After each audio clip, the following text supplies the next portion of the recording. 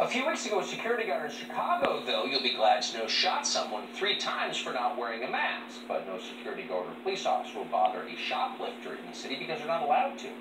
And that's true all over the country.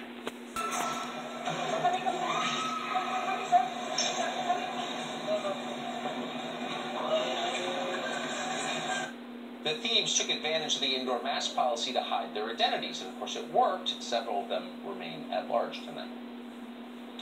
Well, Taylor Lorenz works at the New York Times, defending the interests of the ruling class by force. She defames people. One person is fighting back, however. Her name is Ariadna Jacob. She's recently filed a $6 million defamation suit against Taylor Lorenz.